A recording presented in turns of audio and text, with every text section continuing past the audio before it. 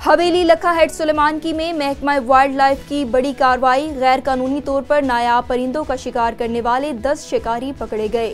सैकड़ों नायाब परिंदे बरामद कर लिए गए। नायाब परिंदे आज़ाद कर दिए गए, जबकि शिकारियों को कानूनी कार्रवाई के लिए अदालत में पेश किया जाएगा। ज़िला उकाड़ा और ये बहावल नगर के हवाले से।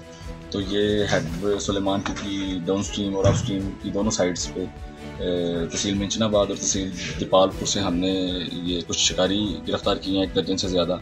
और इनके कब्ज़े से ये जो शिकारी हैं, ये फाल्कन और बटेर का शिकार कर रहे थे, बजरिया नेटिंग। और इनके मुख्तु तरीक़ेकार हैं। हमने इनके कब्ज़े से कुछ एक दो फाल्कन भी बरामद किया है। जो कि लेगर फाल्कन है और बतौर बेट इस्तेमाल हो रही थी।